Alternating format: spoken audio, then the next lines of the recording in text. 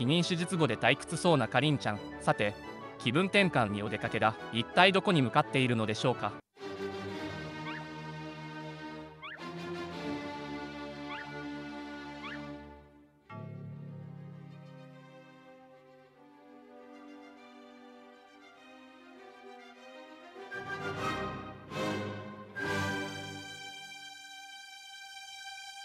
無事。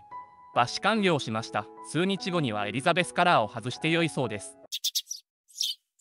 いつもの日常が戻ってきたよ。よかったよかった。